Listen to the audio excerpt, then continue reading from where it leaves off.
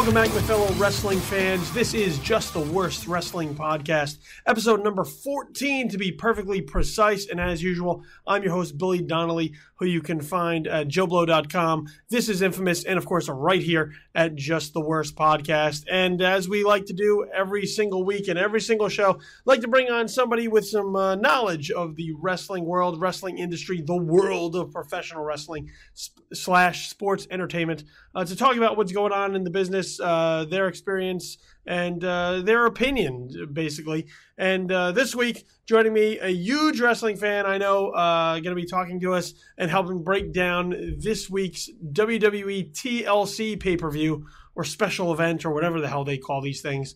Uh, tables, ladders, and chairs, as well as the aftermath that uh, that led into Monday Night Raw this week. So uh, he, you can find his work on IGN TV. Uh, so he's a writer for IGN. You can also find him on Twitter at the Matt Fowler. Matt Fowler. So thanks, Matt, for joining us this week, man. Uh, my pleasure. Yeah, that's me. I like that you uh, wanted to find someone with a lot of wrestling knowledge. I was waiting for you to say, but instead we got Matt Fowler. Uh, I don't, God, I don't podcast much, so forgive me, everyone. Uh, I'm not used to talking about wrestling out loud. Isn't that weird? Um, I talk about TV a lot, but not so much wrestling. I write about it a lot, but so this will be a, a so, somewhat new experience for me. See, and and and the reason I I know uh, how into wrestling you are is is via Twitter. This Twitter is like the great equalizer uh, as far as finding out who is into the very things that you're into. Uh, and, and it's always amazing to me when when it's time to look for people to, to sign up or not to sign up but to to, to recruit to bring in and, and trying to lure to do an episode uh, how often I forget who exactly is into wrestling. Um, and when you you're on Twitter, you're on social media, you very quickly realize, especially when Raw is on or pay per views are on, and and people are tweeting about it, just who is into it, and you're like, oh. I totally forgot that guy was also into wrestling. So, uh, so I, I knew, and I was like, well, let me let me reach out uh, one of these weeks and try and get you on the show. And um, yeah, it, it you know this is one of those uh, those forums where we're able to talk about wrestling and, and you know like it's always cool to be able to talk wrestling with people who also enjoy wrestling and just kind of let your freak flag fly and put it all out there so i'm glad that we can break your wrestling podcast cherry yeah, I've, I've, like I've spoken about it for like ten minute increments, and that's about as, as, much as I'm good for. So let's see how this works out. All right, uh, yeah, let's see how it works out. Oh, and as far as like yeah, finding out who gets into wrestling um, via Twitter, yeah, on Sunday and Monday nights, occasionally you'll start seeing new people tweet about it, whether it's a uh, uh, whatever they're calling it on the pay per views, like you said, network feasts or whatever they are on Sunday nights, and then uh, Monday Night Raw. But then you find out people like Melissa Joan Hart and all these like you know celebrities that you wouldn't you know they're, they're the ones who sort of keep it a little more close to the chest their love of wrestling. But uh, some of them just come right out and start live tweeting along with events like uh, you know shane west will do that uh, other people do. So yeah it's really interesting. Tlc um, i think and we mentioned this briefly before the, the podcast we'll talk about raw too because it was sort of a two-part story that went down uh, with tlc and raw yeah you, i mean usually when we when we kind of do uh, our, our reaction shows for pay per views, I like to wait until after Raw happens because sometimes you watch pay per view um, and and everything kind of unfolds and then you don't really get the full context or perspective of where things are going until you see how it plays out on raw you know how it feeds into what they're going to do next. So you can watch something on sunday night and you can say oh that that played out excellently or oh this is bullshit uh, but you don't really know until they take that first step without having kind of that knee-jerk reaction. So um, i think tlc here and and the discussion we're going to have is, is going to perfectly uh, showcase that because yeah as you mentioned it is kind of a two-part story and, and the way that one show kind of fed into the other in order to kind of complete at least the the main event arc that they wanted to tell. Uh, I think is kind of really interesting. So um, let's get let's get right into to TLC. We'll start at the main event level uh, and and we'll work our way uh, through the rest of the card. Um, but here, main eventing uh, the tables, ladders, and chairs special event was Roman Reigns versus Sheamus in a TLC match for the World Heavyweight Championship.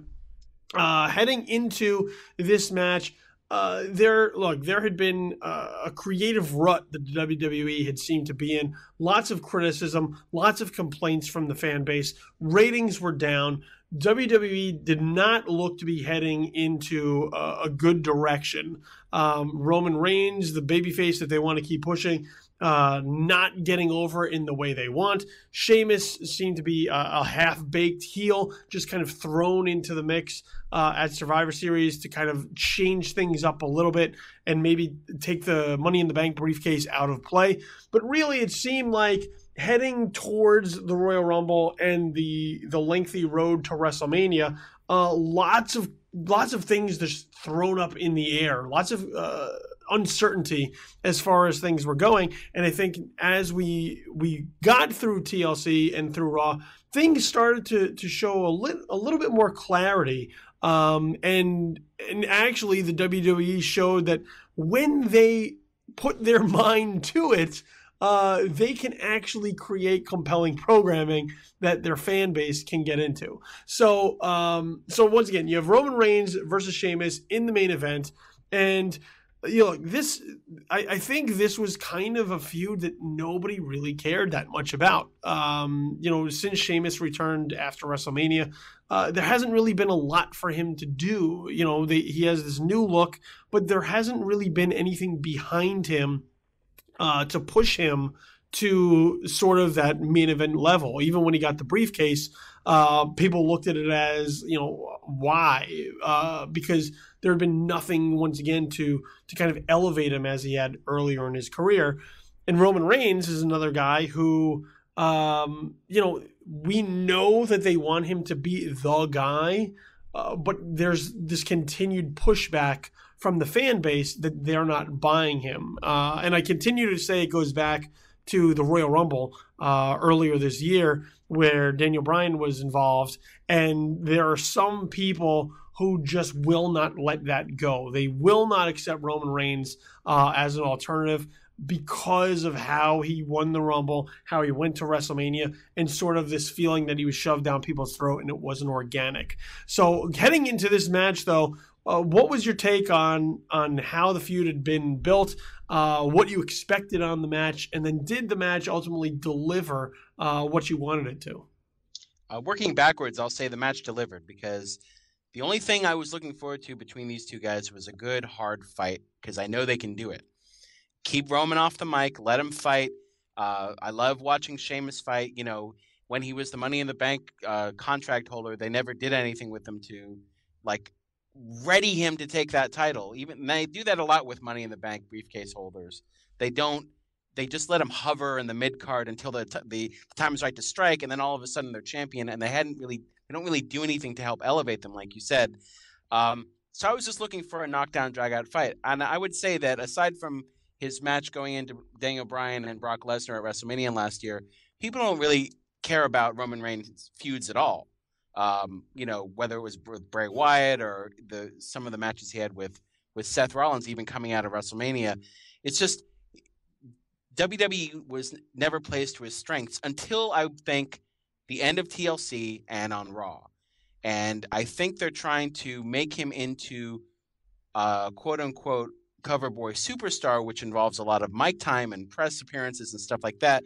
When that's not what's going to get Roman Reigns over What's going to get him over is just straight ahead violence, and that's what we saw. You know, I will I like SmackDown this week? Will I like next week's TV programming or the Royal Rumble? I don't know. I really like TLC and Raw, and I liked what they did with him there. So this match, uh, I thought was really good, and um, I like you know the league uh, costing him the title. I don't know where Ambrose and the Usos were to help him out there. I thought they were going to come out and try to fend off the league but I think Sheamus and Roman Reigns did a really good job in that main event. And again, Sheamus, when he's put up against other tough bruisers like himself, like a Cesaro or a Barrett or something like that, yeah, you know, he's a really hard fighter, and especially with his uh, his skin complexion, you, bruises and welts and blood show up like instantly. He's like an old, like battle damage He-Man action figure. You know?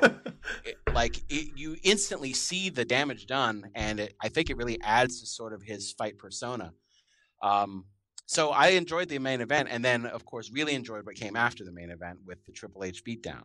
Yeah, uh, we I've talked about this previously on on on the show, which is that the way that they had been kind of setting up Roman Reigns was almost like uh, just another John Cena, like John Cena 2.0, uh, just just with a different look. The way that they'd written for him, uh, but, uh, you can't. It, he looks like, I mean, Cena's a, like a handsome guy. Yes, but but Reigns looks like he comes off the cover of a romance novel. You know, yeah, he, he looks definitely like, does. like something with like a pirate theme, right? Like he he's not going to be the same type of hero, and it's like he's not going to wear the colorful clothing. He's not even going to have the same outreach with kids.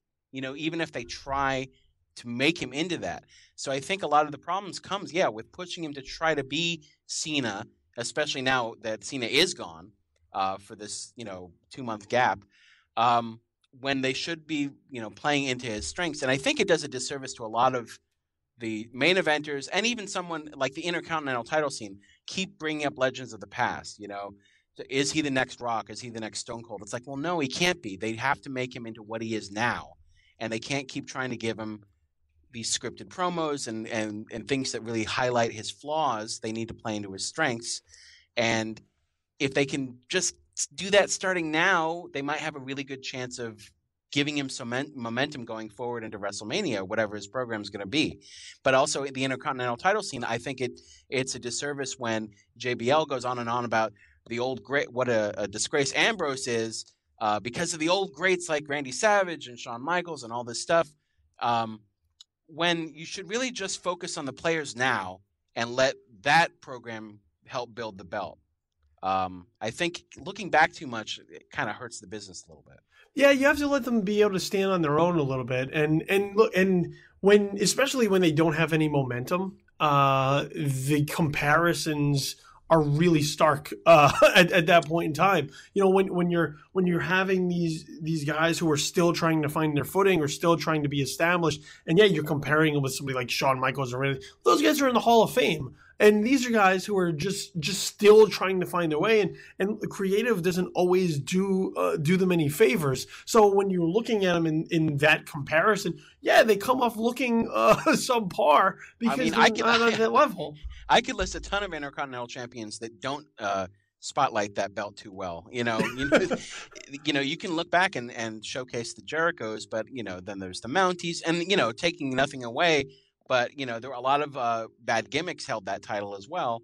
Um, and so, yeah, the the more you talk about the past, the more we think about the past, and like while we're watching the show now, and anything that just sort of takes us out of it and makes us you know pine for you know, old nostalgia i don't think is too much is is a really good thing but yeah and that's and you know and that's one of the things I, i've always i found to be a problem with with their programming now is that when you're you're not firing on all cylinders when you're kind of coasting along when you're kind of just hoping that the fans go along with it because that's that's their habit that's what they always do you have something like the WWE network like at your disposal. So when you watch when you go back, yeah, and you watch the old stuff, you watch the stuff like when it was really good, and then you watch something now, you can look at it very clearly and say, nah, they're not cutting the mustard right now because it's not it's not as as as solid a product as it once was. And I think they have to battle against that. You know, for all they for all they talk all the time about how their competition is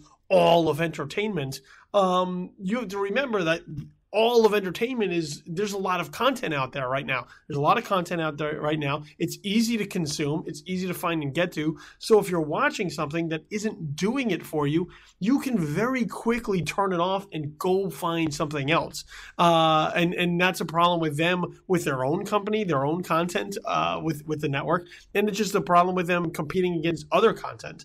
Um, but yeah, look, I, I agree with you on on the, the, the John Cena point. Like, I, I think that the way that Roman Reigns has been set up with these scripted promos, trying to make him cutesy, kind of these uh, these goofy kind of analogies and insults that he throws up, That's not him, uh, and no one has ever really believed that it's him. You know, you hear all the time from people who have had a chance to interact or talk with Roman Reigns, or when Roman Reigns gets to do interviews where he's just himself, this incredible personality that he has uh, that that he's he's very easy to kind of uh, to stomach, uh, so to speak, and they don't really showcase any of that by trying to kind of wedge him into this box, by trying to make him this vision that they want him to be, uh, rather than, as you say, letting him be his own thing, letting him stand on his own and be Roman Reigns. Um, and look, yeah, because that because that tater tots promo, first of all, it wasn't good for anyone, like no. anyone saying that, but that was a Cena line. Yes. Right? Would you agree? Like that was something that Cena would say and get a better reaction out of in the end. Um, and not even probably wouldn't have even had to repeat the line tater tots over and over again to get the crowd chanting it. They would have just done it. That's the Cena line, and that's what you're talking about about them trying to mold him into this all rounder when he's not. You know, no. he's he's not good for that. He's he's he's very specific at what he can do and do well, and that's what they need to lean into. Yeah, the, I mean, look, his strength is being dark and mysterious. Uh, like, like that's one of the things that that sh- they've should have been uh, throwing behind him this entire time, rather than yeah, giving him my time where he's not very good uh, at it, especially live and in the ring. If you want to pre-tape stuff, I can understand. And look, I I know that they want to get guys in the ring. They want them to cut these long promos. They want to have them try and connect with the fans rather than just do stuff uh, that's pre-taped. But if it's not helping him, if it's only really hurting him in the eyes of the fan base, how is that beneficial to anyone involved? Uh, it's not. You know, you're you're setting him up for failure, and then when the the audience doesn't react in the way you want, they just kind of throw up their hands and they're like, "Oh, I don't know what the fuck happened." Uh, so, yeah, I mean, yeah, I think I liked the TLC main event. I thought they both did a great job. I thought some of the spots were pretty impressive you know, it's hard to follow, you know, anything resembling the ladder match that opened the show, but I think they they brought it with the violence and I think, you know, this is the closest fans have been behind Reigns now. I wouldn't say that leading into TLC, but post TLC perhaps, that since back in the Shield, maybe. Yeah. Because remember, two years in a row at the Rumble, fans booed quote unquote not Daniel Bryan, whoever filled that spot. Uh, one year it was Batista, uh, you know, and that's when Reigns was the next best thing to Daniel Bryan because he was taking out the guy who was who was winning that nobody wanted to win. Yeah, poor, and he poor was, and he was still, and poor he was still in Shield. Oh man, there. yeah, yeah. and again, this is all booking too, right? This is all about how for two years in a row Daniel Bryan was booked. Yes, and and I think Monday on Raw showed that even the most cynical fan, well, yeah, there's still going to be haters and naysayers out there who didn't even enjoy Raw, which I don't understand because I'm not a huge Roman Reigns fan, but I really loved Raw.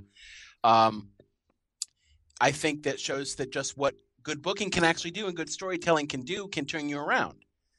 Um, so yeah, and then last year at, at the Rumble, Reigns was the not Daniel Bryan, and he got booed. So now with no Daniel Bryan around, there's no not you know there's really no excuse for that. It's they really just have to build Reigns on his own.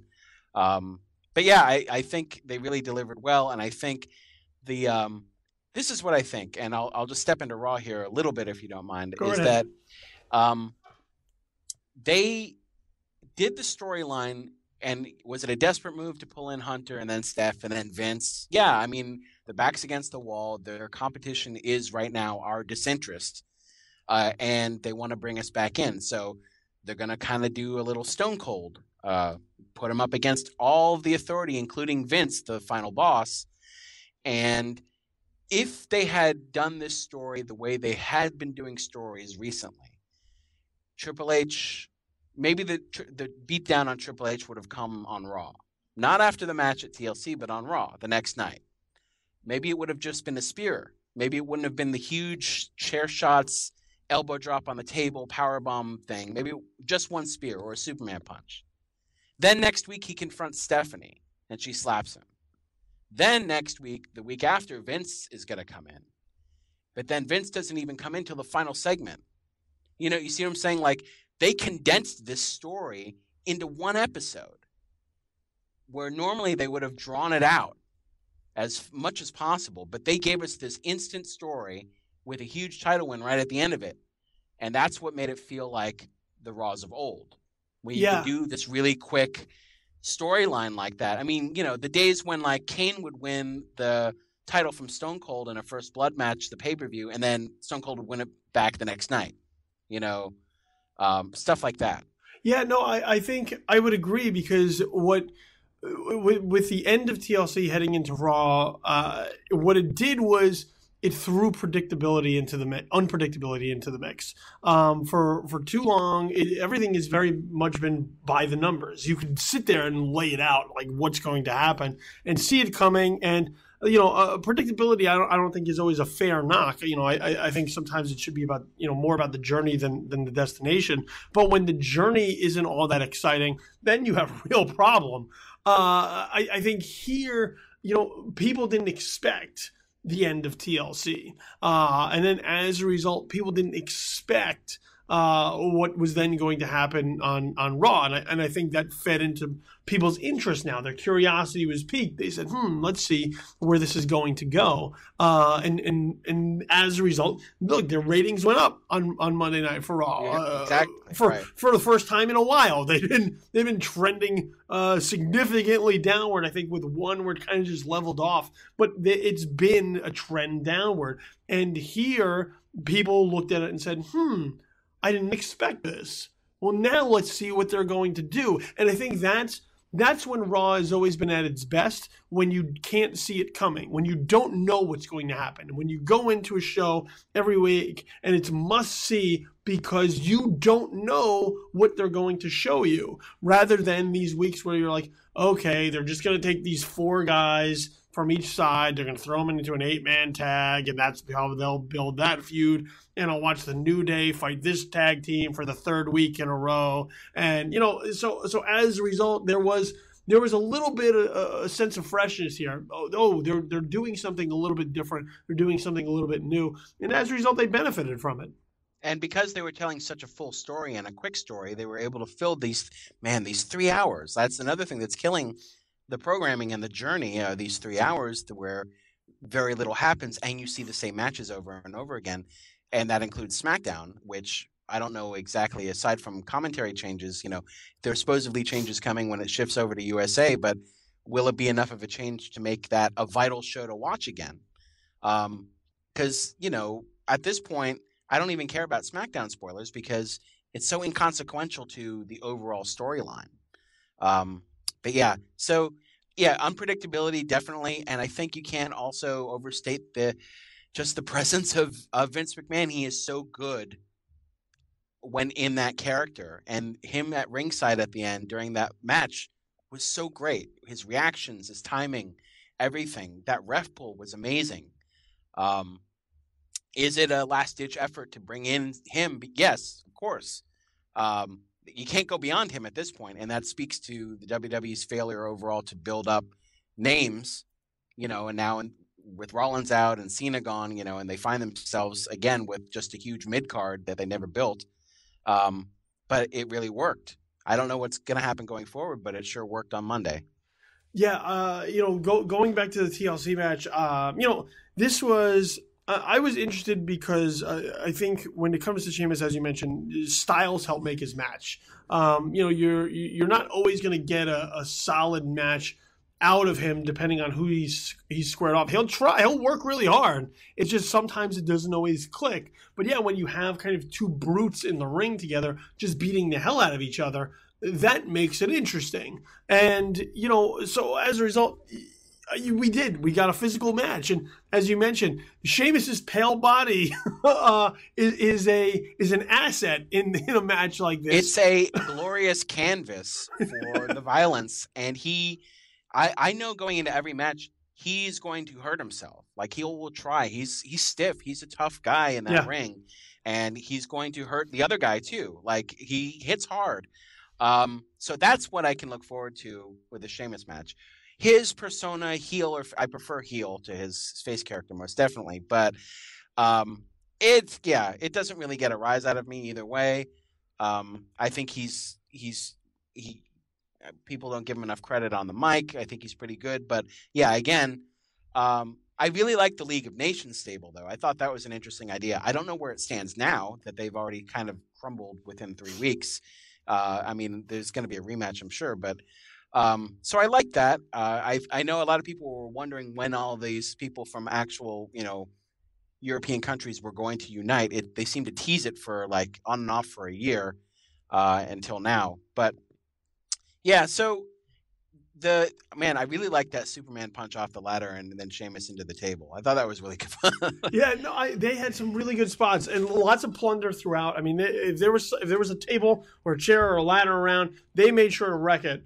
Um, and and yeah, and, and I thought there were some really good spots throughout. And look, they heading into this look they're in a tough market as it is they're in boston uh, boston those northeast markets are tough uh, New York, Philly, Boston. They are tough. And if I they grew up in New York and I grew up going to MSG shows, so I know. Yeah, yeah, I they're know how tough. tough they. Chicago, tough. These are tough towns that if if they're not getting good product, they will let you know about it. And right out of the gate, there was seen a chance early on. So watching this match, I'm like, oh, they got a they got an uphill climb as it is. And the fascinating part is, once again, you tell a good story, you'll get the crowd behind you. And over the course of this match, they were able to turn this crowd from where they started to where the show ended up. And that is a testament to, to that's what good booking can do, what good character work can do, what building a match properly can do,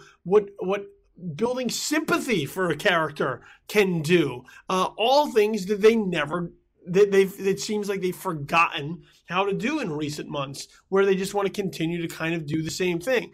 You know, the it's very the, the one of the keys to the hero's journey is that the hero has to overcome something.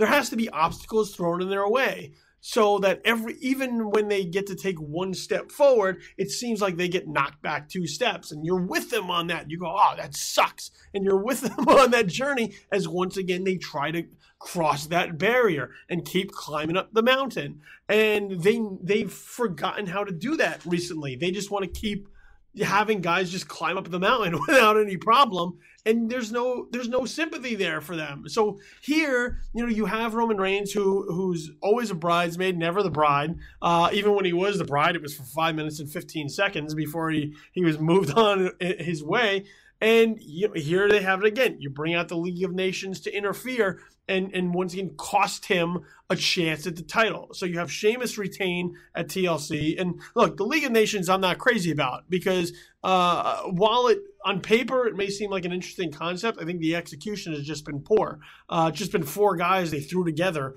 uh, that don't really have any connection whatsoever. So to kind of put them in a faction or a stable, it, it just feels odd. It feels like well we didn't know what to do with these four guys, so so here they are.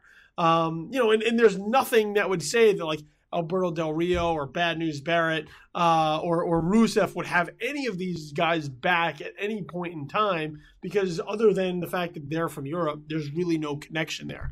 Um, but yeah, so you have the League of Nations interfere. You have uh, uh, Roman Reigns screwed once again. And people kind of feel that. They look at it and they go, oh, man, this again, like, you know, it's the Daniel Bryan situation kind of all over again. Like, oh, they're just, they're going to keep screwing this. And even if you don't like Roman Reigns, you can at least feel for the character. It still, it still invokes some type of emotion from within you because you can look at that and say, well, that's not right. You know, it, it, it speaks to your sense of justice. Um, so the, here in the aftermath of this TLC match, that's where they really caught lightning in a bottle here. That's where they hit the spark because that's what Roman Reigns needed to do. He needed to get pissed and he needed to snap and he needed to show some type of passion, some type of fire, something that felt real that people could connect to because as you as we mentioned, all of this scripted stuff and trying to to fit him inside this box and and, and have him perceived in a certain way wasn't really working for him because it felt inauthentic. It didn't feel like him. This feels like him. This felt like a guy who had enough and fuck it, he's going to take it all out. And people get behind that. They go, yeah, I'm all behind. Take it to the man. and And that's where they started to really work with Roman Reigns in the right way. And you saw this Boston crowd by the end of the night was cheering for Roman Reigns. When well, they had a "Thank you, Roman" chant. Yes, during the right during the the the point where you thought he was leaving Triple H alone, and then he came back for one last hit. But uh, yeah, I mean, yeah, like you said, good storytelling can make you cheer for, even if it's momentarily, someone you don't like. You know, like it can get you behind someone. Like Roman's not the easiest guy to sell as an underdog because of his look, and even because he comes out like looking like he's fully armored. You know, uh, well, like compare him to Sheamus, who's like practically naked uh, with all these welts, and then Sheamus, I mean, then yeah, Roman Reigns is, on. he's come out like almost completely covered with clothing and like hard clothing. Uh, what's the the chest pounding, the the beats of the whatever that uh, Sheamus does? Uh, when he hits you on the chest oh, for yeah, ten yeah. times, like he's hitting him on this like Kevlar vest. I'm like, oh come on, you know. But yeah, good, and and you can argue too whether or not Triple H deserved that beating or not. I mean, he's sometimes a baby face, sometimes a heel character. He throws wrenches and obstacles in your path that most definitely makes it difficult for you. But he didn't come out and like screw uh, Roman Reigns out of the title that night himself. But he still got the brunt of this massive beating that just went on and on. Um, and I think the fans really, I think the fans really sided with how maybe even unwarranted the beating was. I think they kind of liked the fact that it was overkill, uh, and that maybe tri- that maybe Hunter didn't even deserve half of what he was getting. All things considered, in all the ways you can interfere in a match. Yeah, he was um, just guilty by association. And like he, it was, night. it was like he was taking a beating for maybe everything he'd done over the past couple years.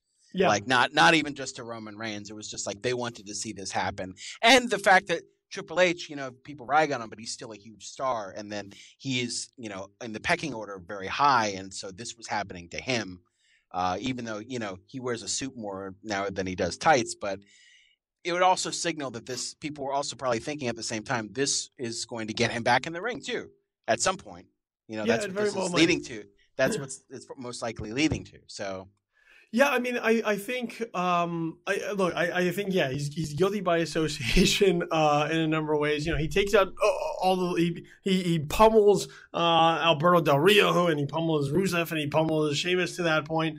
And here comes Triple H, and yeah, look, the, the Triple H character right now is extremely confusing, I think, for a lot of people because yeah, you know, and, and I and I don't think that they fully have have understood that to this point because you know he can come out on on Raw as part of the authority and people boo him for for being you know for operating uh, based off of what's best for business, but then two nights later uh, you, you watch NXT and you know that he's responsible for that, and, and, you and you and you think finally of him there. So you know, it, or, or, you see him on Breaking Ground giving great news to Sasha Banks and Becky and uh, yeah uh, Bayley, right? Like being and making them cry with tears of joy because he's so nice and like they you know they like him a lot, and even he's even babyface within storyline on Raw too. Whenever he like shames the heel champ, which he was doing to Randy Orton at one point, and then of course famously with Seth Rollins all the yes. time. Um, yeah, so they go back and forth all the time. Yeah, and, and I think and you know and, and look and, and as a result it, it becomes difficult. But I, I think there's I think people embrace the the Triple H one the, the Triple H beating one because here you got to see Roman Reigns kind of unleash really what he he was best known for uh, as a member of the Shield. Like that that was his strength as, as a member of the Shield, which was you know just be the last guy. Let let Rollins and Ambrose do all the work, and you come in at the end and just wreck everything. Like you know deliver the the, the brunt of the beating at the end. Put it over the top, and that's what people pop for. That's what people went crazy for. So yeah, I think that was part of it, and, and I think the Triple H build up, a kind of all of the awful things that they've done over months and months kind of fed into this. But I think it also speaks to uh, to one of the other problems that the WWE still needs to try and address up and down the rest of the card, which is getting heat on other people. Triple H has a heat because of the way he acts in, in, in certain situations, but I don't think that they they work hard enough to get real heat on their heels in a way that when something like this happens – it pops the crowd because they want to see that talent get their comeuppance. They want to see somebody go and kick their ass. And that's what they're going to pay money for. That's what they're going to tune in to watch. And, you know, maybe the heel escapes. Maybe, you know, they use some type of nefarious means to, to still get one over. But at some point, the culmination is going to be that they're going to get what they deserve. And I think that they continue to to go up and down with some of their bookings and their talents. That as a result, we don't get too much of this. We don't get too much of talent getting what they deserve. And as a result, that's kind of why uh, a lot of their performers feel flat in the way that their the audience responds to them. Well, the, yeah, the 50-50 booking also doesn't help anyone, which. Uh which again we can talk about the Wyatts and Team ECW, and I think I really like the fact that the Wyatts were able to dominate for all once. these matches and win and win and win them, not have to split the victories. But can you? I want to ask you, can you imagine? And this was something I did lament, aside from the fact that I really like Seth Rollins as a performer and I wish him all the luck in the world with his rehab, and I want him back as soon as possible, but not too soon that he hurts himself. But uh, can you imagine if that beatdown though was done to Seth Rollins? Like that would have been Seth Rollins' comeuppance and him getting what he deserved. Like maybe that was a plan at some point because you know with Reigns was supposed to face Rollins, and that was a feud, a Reigns feud I was actually in on. You know, I was in for Reigns versus Rollins because of the history. Um, it didn't wind up happening, but I think, yeah, like Seth Rollins will come back. Maybe he'll even come back as a baby face because people will miss him at that point and his athleticism. But yeah, that was the that was the payoff we didn't get for Seth Rollins' title reign. Like that's what should have come at the end of it. That type of beating.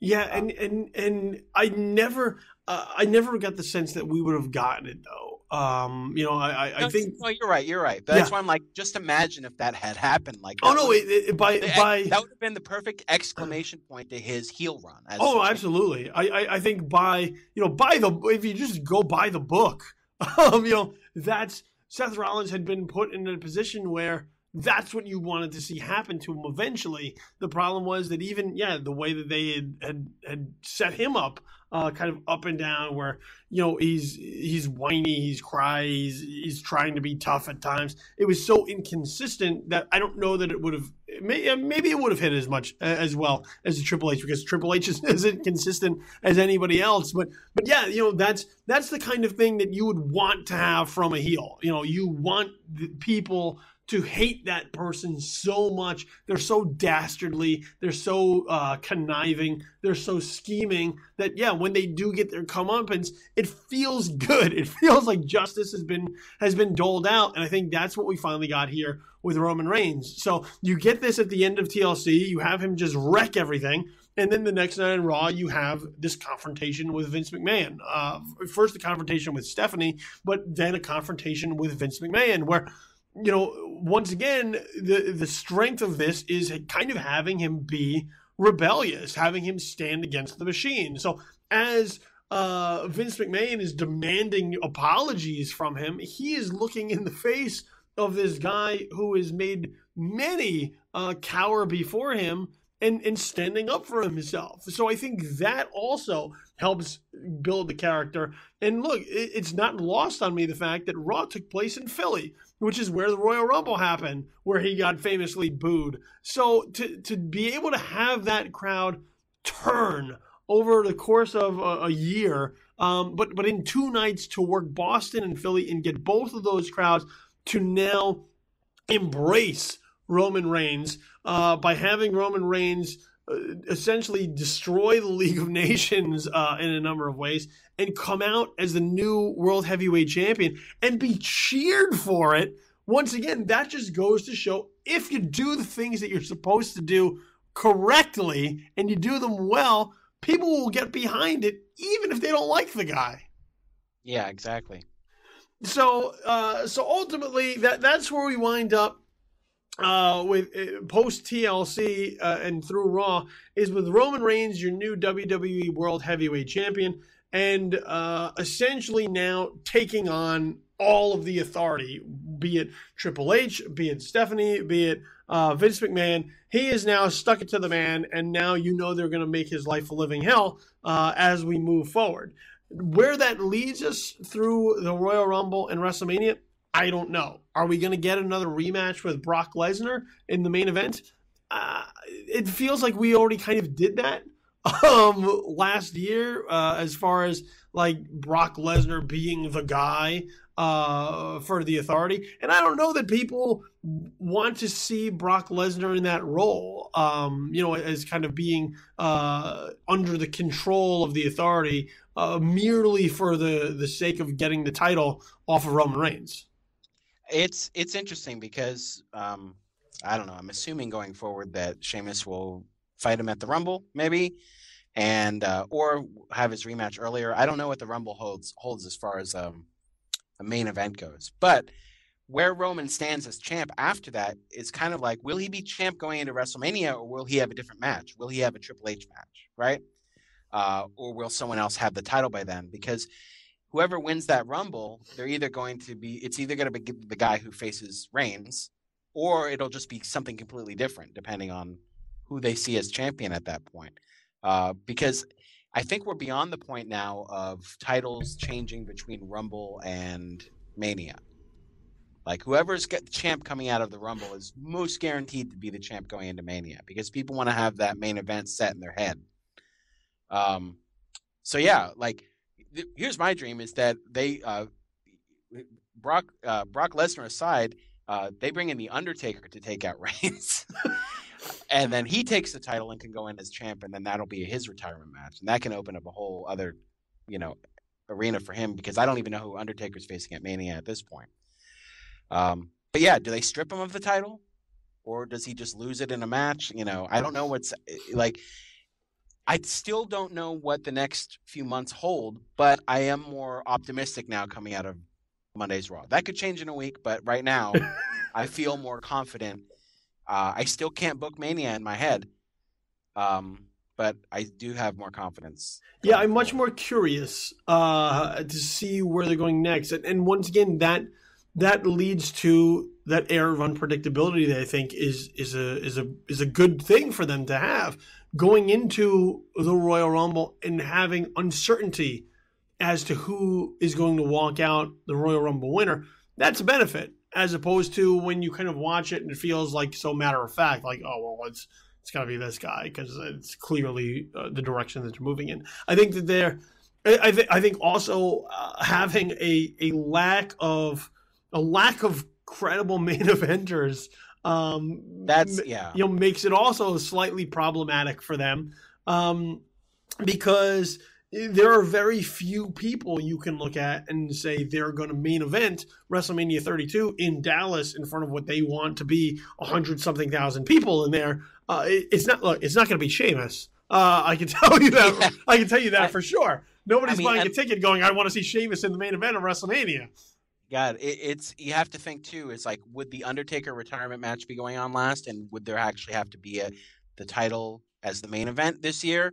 Uh, because they could have the title be completely separate and then just have marquee matches that overshadow the title match. You know, if the idea is to, you know, sell out this huge stadium, uh, yeah, I don't know if they're.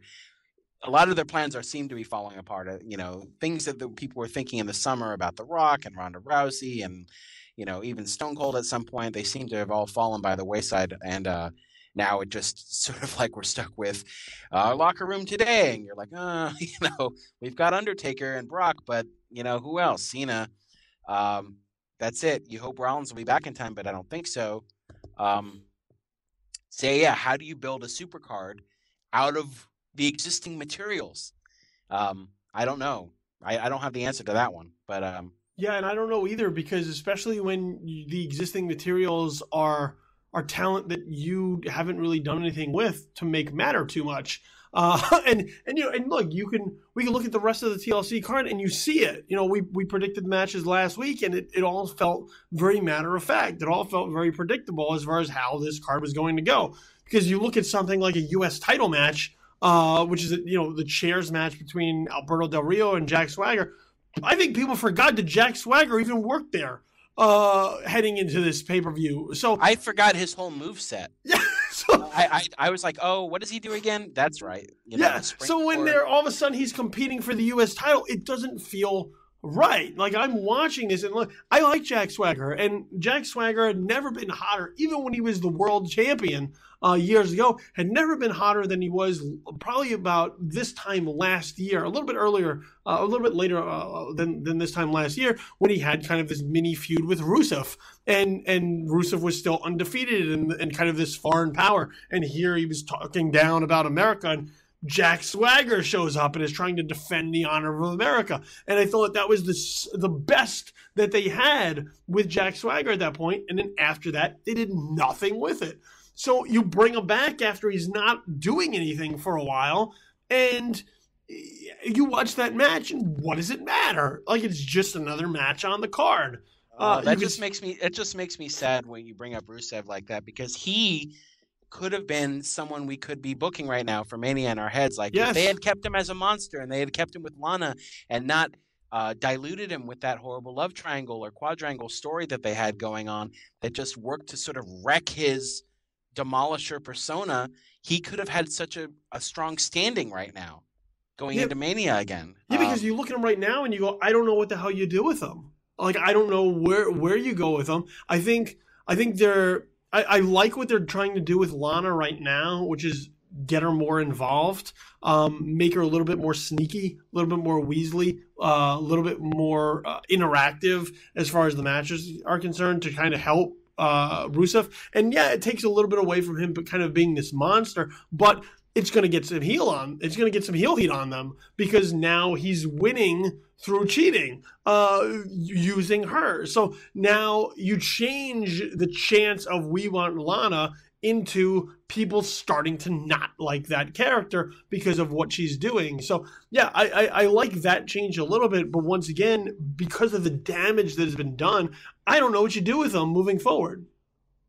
Yeah, I don't know. I mean, I do wish uh, again, I just pine for what they used to be. So there's no going back at this point. I wish she was on the mic more, and she's still arm candy. That's the thing. That's what she got reduced to in the whole uh, aftermath of his Cena feud.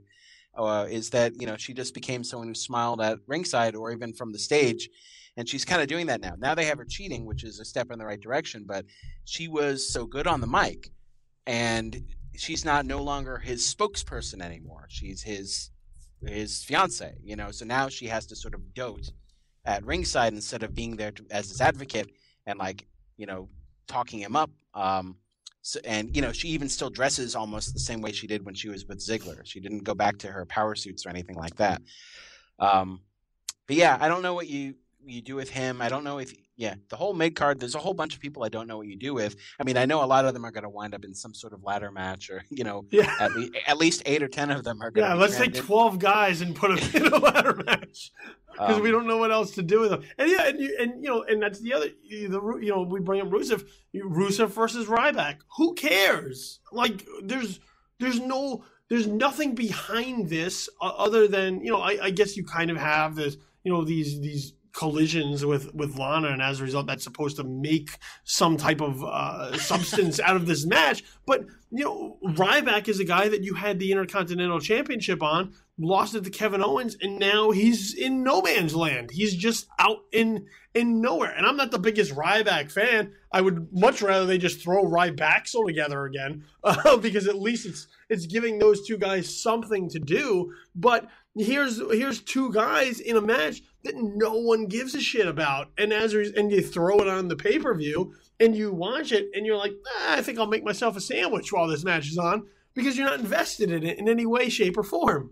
Well, it also goes to stand that you don't believe Ryback can win at this point. Uh, I, you know, I I'm not a Ryback fan at all, heel or face. I just wasn't a fan um, from the get go, and I like him on podcasts. You know, he's really nice. He's really personable. He comes off really well. I like his positivity and his belief in the secret and how he's motivated him to bring himself back into the business so many times and through injuries and gimmick changes and stuff like that. I think it's it's really good. And and he also goes on about how he's spoken up a lot of times, saying like, "I'm ready to fill the main event spot whenever you need me. If someone goes down, I'm your next Cena." Uh, you know, words to that to that effect.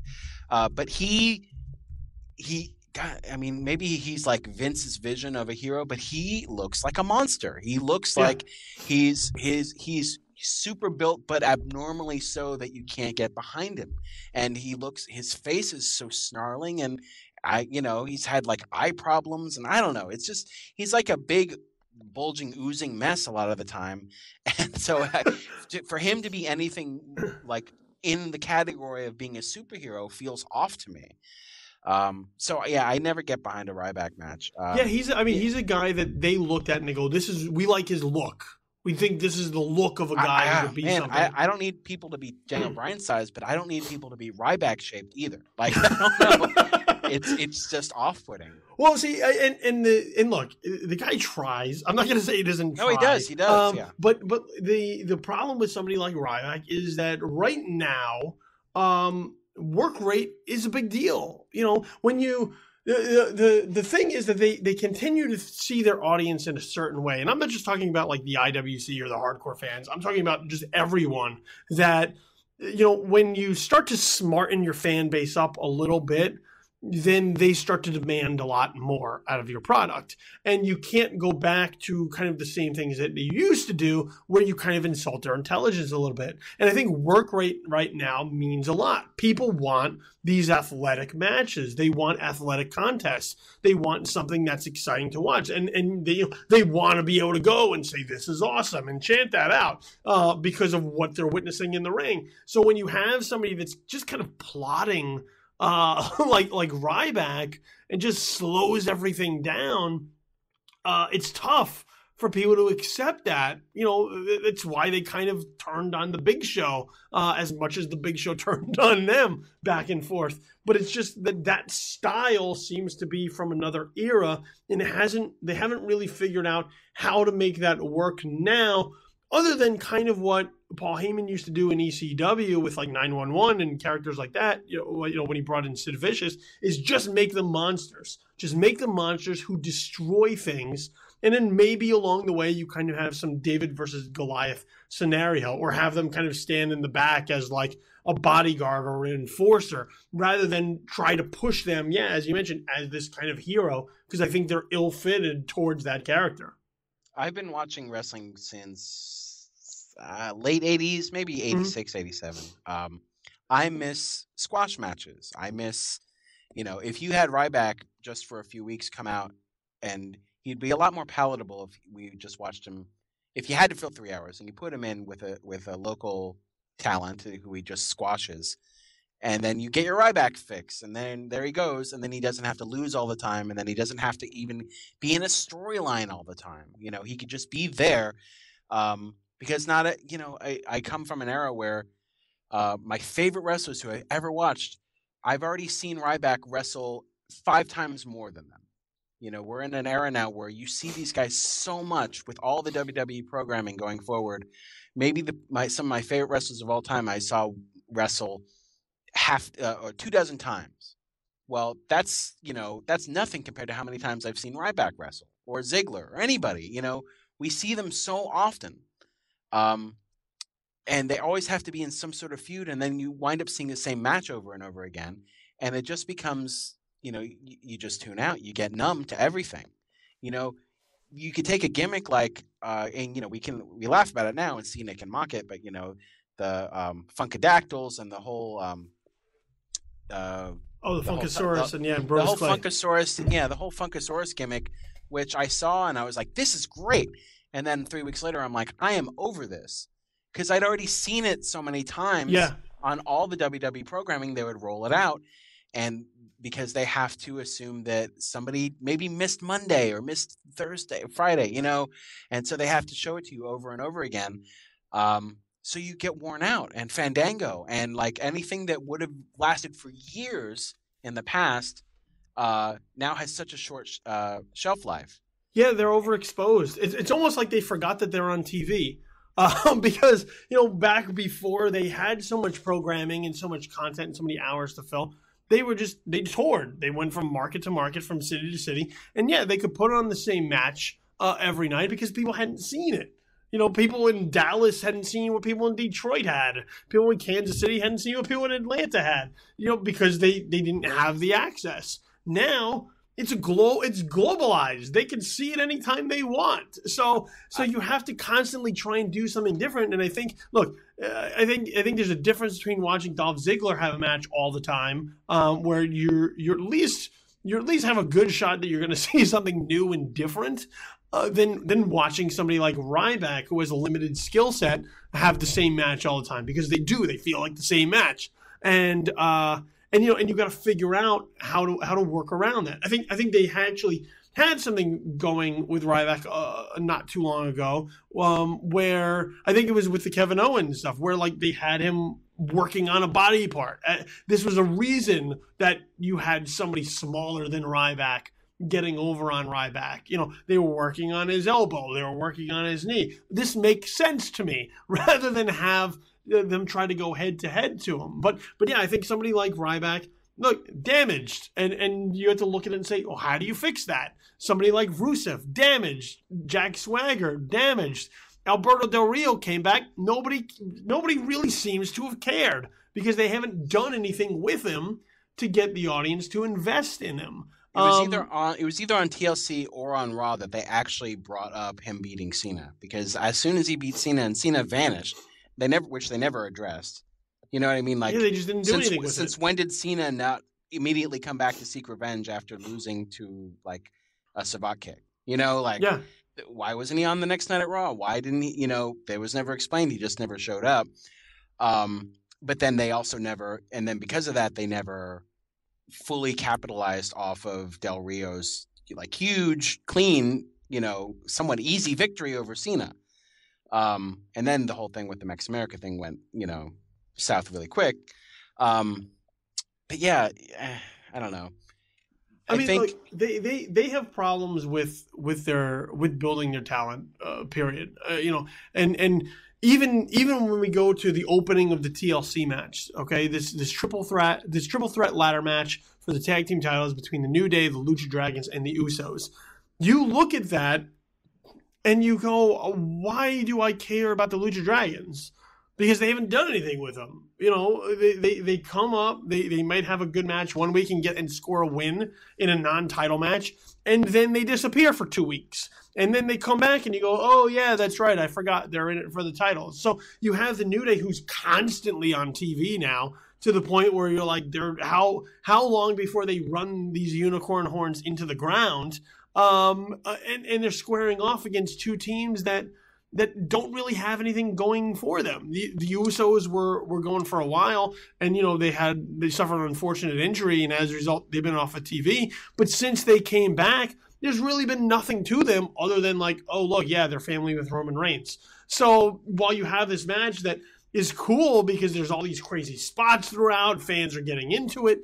Um, you know, and and the New Day is involved uh, as as entertaining yet unheelish as they are uh, you still have a problem where you have four participants, four members of this match that people don't really have any reason to think have a chance at winning the uh, the New Day get, get the benefit of having being able to have their personalities out there, which yes. you know has been a huge, which has been all meant all the the entire world to them. It's helped them get over, and they're extremely entertaining. And back in the day, if you were if you were drawing comparisons to something like Edge and Christian and, and the Hardys, they're Edge and Christian. They're the ones who get to be funny and still be heels, and they come out and make fun of the local team, and um, do all that stuff, and they're really good. Whereas you know the other team, whoever it might be, can be the stoic, more serious you know, let's go out there and win one because we're good um, type team. I think of the the issue with uh, having the Luchas and the uh, the Usos in one match at least together is the fact that both teams aren't don't have personalities, and also when uh, bodies are flying around the ring, they can be indistinguishable from one another because one team are twins and the other team are masked. Um, so it, it all just sort of runs together uh, because it, in the heyday of the Hardys uh, and then the uh, Edge and Christian and the Dudleys, the Dudleys were, were distinguishable and they were had personalities of their own. You know, so it was really just the Hardys who were kind of the quiet ones. Here you've got you know um, four out of the I would say six, but it's really four out of the seven because New Day is a triple threat uh, who are quiet and, and don't get the mic time and are very talented in the ring and very athletic. Um, but yeah, it was kind of easy to sort of spot the New Day coming out on top here because they are the boisterous ones and they are the ones who are opening and closing the show these days uh, on a, any given Raw. You can see them come out first or you can see them come out last or both. and that's not the spot that either of the other teams are in. Uh, don't forget though that Kalisto is a former world uh, heavyweight championship contender. yes, yes, thrown into thrown into a tournament and made it past the first round. So thrown know, into a tournament that, that no one knew why he was even in it, and yes, and didn't manage to get out of the first him round. And him and Titus as the sort of random half of the tag teams that aren't even tag team champions. Um, where it the just other we mem- need it was we need the other another guy. where the other member of the tag team just gets left in the lurch for no explained reason. no, not at all. Uh, um, But yeah, that uh, that Kalisto spot though was insane. You know? Oh no, I, I, I absolutely agree. The this the uh, Salida del Sol or, or whatever it's called uh, off the ladder or off a ladder through a ladder um, was pretty insane. And look, and that, that's why they stick these guys in the in this match uh, because you have uh, Sin Cara and Kalisto and the Usos and who and, and Kofi Kingston uh, who can do these things, can kind of give these high spots that, that excite the crowd and kind of set the tone for the rest of the card. Uh, if there's one, like if there's one problem that I took uh, from this match, and it's it's constant, and it, it just really stood out uh, for me in this match. And, and once again, I think it's just another one of those issues that that they have with the product as a whole is that the commentary is on, on matches like this is horrendous because Michael Cole cannot for the life of him ever sell any sort of damage that's going on. And and i think this kind of feeds into their mindset of you know uh we're trying to entertain you you know uh, this is it's not real we're just trying to entertain you. Um and, and you know I, and i don't want to constantly go back to you know well back in the day and, and the jim ross days and whatnot. But when jim ross was on on commentary when something like this would happen he would sell it. You would think these guys might have died of ringside um, with some of the spots that they were doing. And here, you know, Michael, th- these guys are putting their bodies on the line, and and awful things are happening to them in the match. And Michael Cole is just like, "Wow, isn't this amazing? This is incredible!" And I'm like, "This looks horrible." And, and, I, and I think it hurts. It hurts the talent and it hurts getting matches like this over because you should be feeling the pain a little bit. If a guy goes through a ladder, you should cringe. You should be like, "Oh, not yeah." I mean, the yeah might come afterwards, but your initial reaction should be, "Ooh, that looked like it hurt." And the commentators never sell that action in that way anymore, and I think it hurts get get those things over. Yeah, I mean, again, we'd all love to have JR back, but I think he's spoken on his podcast a bunch about how he wouldn't even be allowed to do his style if he came back. No, If he came back, it, you know, there's too many things to plug. There's too many uh, thing. There's just too too many things other than what's going on in the ring that you need to talk about. And it's not like JBL and Cole are making those decisions, of course, but they have to talk about what somebody wrote on Twitter, you know, which was planned as part of the feud. You know, yeah. they have to talk about um, who's sponsoring the pay per view. They have to they have to do a little banter here and there, and occasionally get back to the the action in the ring. Not call the specifics, not call working on a body part, not you know selling any of the the actual psychology involved in the match, but just returning to it every once in a while. If you notice though, if you go back to Raw main event, which I do actually want to rewatch at some point, I believe they were calling that match. And whether it was because Vince wasn't in their ear and he was right at ringside, or because Vince was involved in the match and that made it the match too, there was nothing else in the world you needed to be paying attention to except Vince McMahon at, at ringside in this match for the title. They were calling that match. They weren't going to other things. Um, so it was a sort of a, uh, a big contrast to their usual uh, commentary style. Yeah, because when you when you make something sound important, it is important. Yeah, exactly. You know, it's then, just it's people buy that it. They only sparingly make things sound important. They, Yeah. they they really pick and choose instead of like trying to make most or everything sound important. Yeah.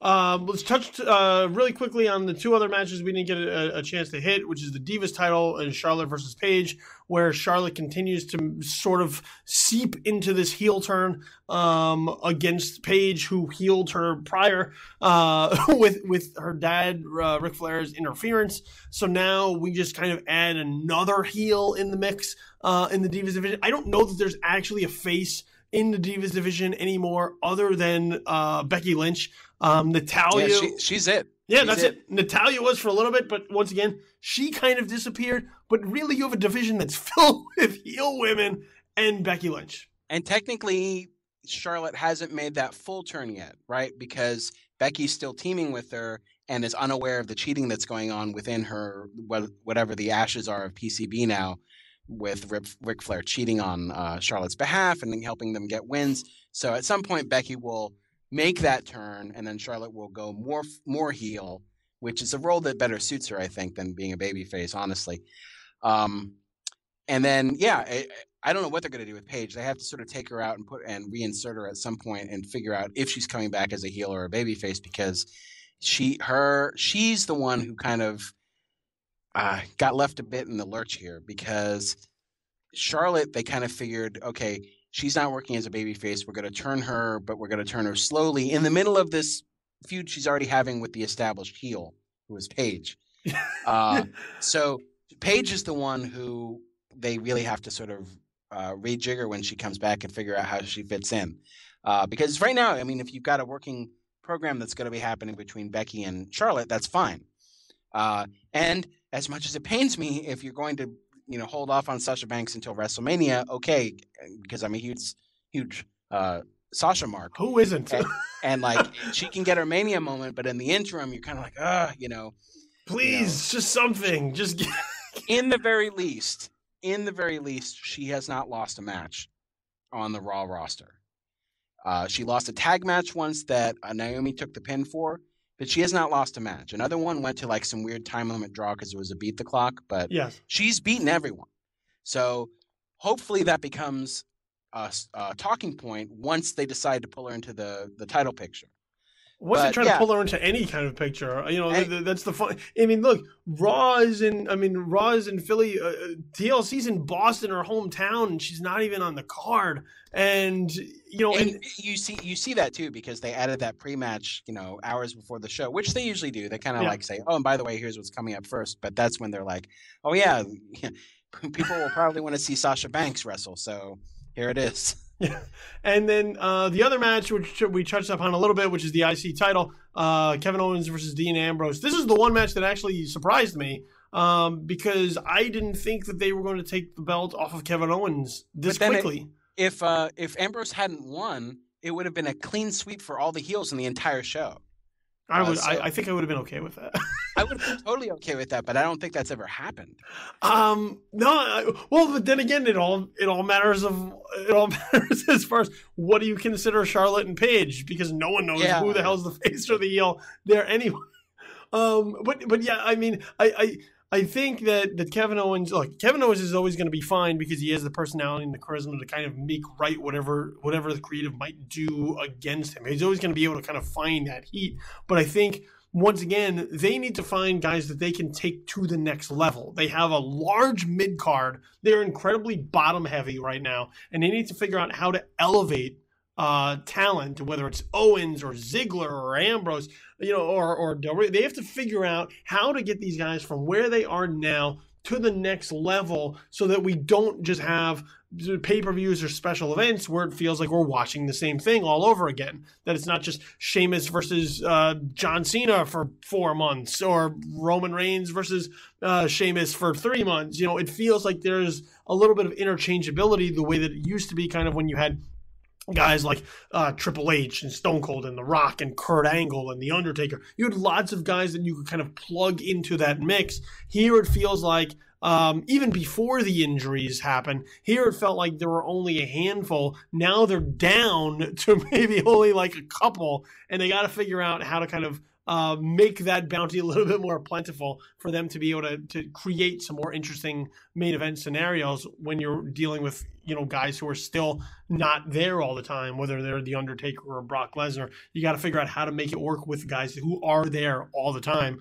consistently. Yeah, I agree. I mean, it's it's hard because they played it too safe for so long with Cena, and they you know at the expense of other stars who could have risen up through the ranks, and now it's sort of the do or die time because okay, Cena will be back, but with this type of venture away, with this reality show he did for Fox, this competition series, you know, you start. This is the first time Cena's made this type of exit and done something non WWE oriented. I mean, aside from cameos and movies. Yeah. You know, aside from the WWE's own movies, and then aside from some of the comedy stuff he's been doing recently, this is. Um, and I think maybe maybe it was Trainwreck. Maybe it was this type of stuff that got people in his ear saying, "Hey, you know, you can do maybe not what the rock's doing and to that extent but you can do your own thing you can find your own market outside of this world and as his body wears on him and as he's you know he's got to be hurting all all kinds of pain you know with uh, you know yeah, with the way he been, works yeah as long as he's been doing it and in the main event spot he's been in for so long uh and so you have to start wondering like how many more years is Cena going to be there and how much will he be around? I mean, like, how much of a schedule will he be working even if he is around uh, with this type of venture that he's doing, which is a first time thing for him? Um, so they the WWE's hand really got forced here as far as with Rollins' injury and Cena being gone, and Orton too, because you know if Orton was around and wasn't injured, um, he would have been the fallback main eventer. Yeah, probably. You know, like you know, so they didn't have him either.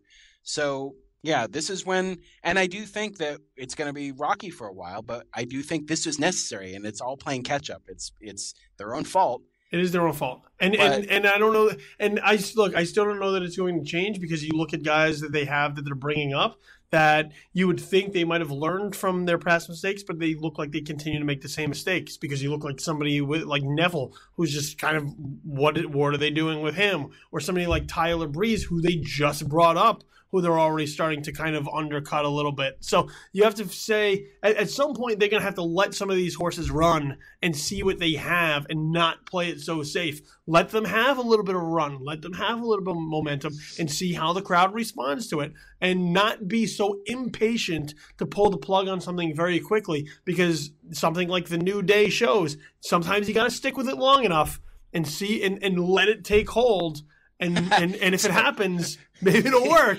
So what you're saying is that we should wait until probably the Raw after WrestleMania this year, and then that crowd will tell us who the new stars will be for the coming year, and who should turn heel, and who should stay with stick with what they're doing, or who should do a, a complete 180. Well, that crowd that, is, that, that no, crowd I mean that, that's unpredictable. That, I mean, but that's what I mean. That's what the, therein lies the new uh, the new New Day.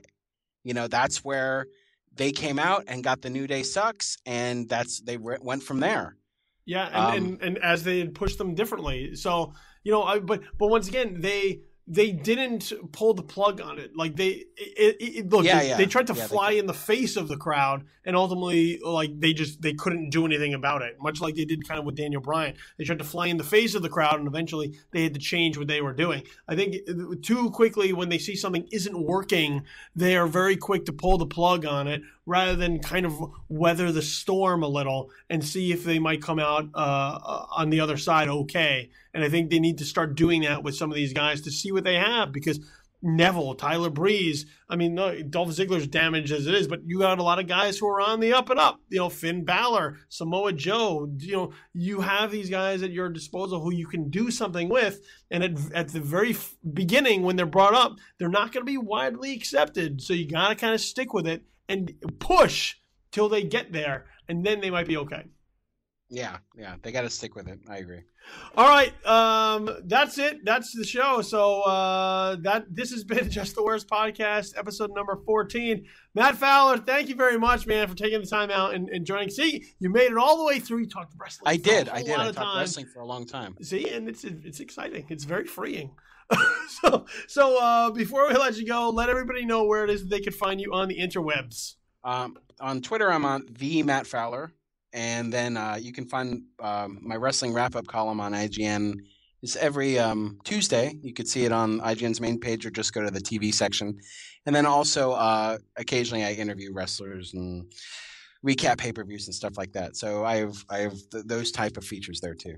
See, so there you go, and uh, and I and I write about other TV, but not not just wrestling. Not just a little bit of everything, but but there is still lots of wrestling. So for if you're listening to this podcast, obviously, uh, now you have more wrestling to uh, to, to feed into.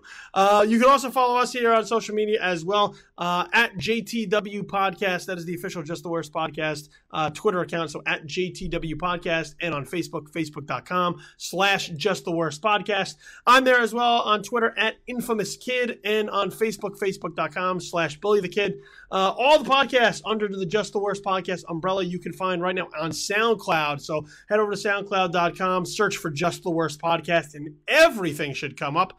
And um, and over the holidays, we will make sure that we have all the feeds set up. So your RSS, iTunes, and Stitcher feeds, they are in the works. So just be a little bit more patient. I know I say this every week, but just a little bit more patience. Maybe it's our Christmas present to you, or your Hanukkah, or Kwanzaa, or Festivus, whatever. You're getting it, and you'll be able to set up those subscriptions uh, pretty shortly. So. Um, other than that, you can find my work at joeblow.com, also on the This Is Infamous YouTube page, and uh, right here at Just the Worst Podcast. And uh, that's it. This has been uh, our wrap up and our reaction for the WWE's TLC special event. I'll be back next week with another guest as usual to talk wrestling. And uh, a month from now, a little more than a month from now, uh, I'll be in Orlando actually for the Royal Rumble. So we'll have something special planned uh, as we recap the Royal Rumble on that entire weekend. So for Matt Fowler, who once again you can find at IGN TV, I've been your host, Billy Donnelly. This has been Just the Worst Wrestling Podcast, episode number 14. So make sure you hit those ropes hard and kick out before the count of three. Uh, and until then, we're out. We'll see you like next week. Peace.